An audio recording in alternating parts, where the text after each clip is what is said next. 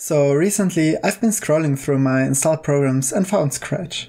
Scratch is basically a game engine based on visual scripting to introduce programming to beginners. I made some terrible Scratch games before with horrible collisions, quite bad art and awful sounds. I made way better games in C and there was not really a point in using Scratch for me. Or maybe that was the point. I thought, what could I create in an hour or two? What about a physics engine? That couldn't be that difficult, right? I didn't want to make it myself too difficult, so I just chose a bunch of equally sized balls as my objects. The collision is actually quite simple. I stored all the positions in lists since I have no idea how I can access other sprites with scripts and checked if the distance was lower than twice the radius. If that's the case, balls collide. Essentially, they only calculate a vector from point A to point B and adjust their velocities according to it. The rest of the code is just to ensure that the speed, the magnitude of the vector is the same as the initial speed of the ball that collided with it. And with that, the collision engine was basically done. Great, right?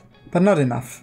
Why stop at a collision engine when you can make an entire game? And luckily, there already exists one that is basically just ball physics. I extended my engine to work with different sized balls, which I did by adding another list with sizes. I changed the spawning, added merging, which was fairly easy even though it has some issues now and again, and with that the basic game logic is done, and it just needed to look good. Things like the color effect provided by Scratch were actually really helpful, but there was no easy way to display score other than using terrible speech bubbles or variable displays. I wrote my own number display screen and it's far from perfect, but it works I guess. And I don't have to do a lot of manual work, which is also great. With that, the game was done. I don't plan on continuing it, didn't even plan to make a devlog about it in the first place, but I think I invested too much time into it. Anyway, you can play the game on the Scratch website, the link is in the description. And I guess I'll see you in the next video. Before you go, let me know if I should make real Scratch tutorials or something.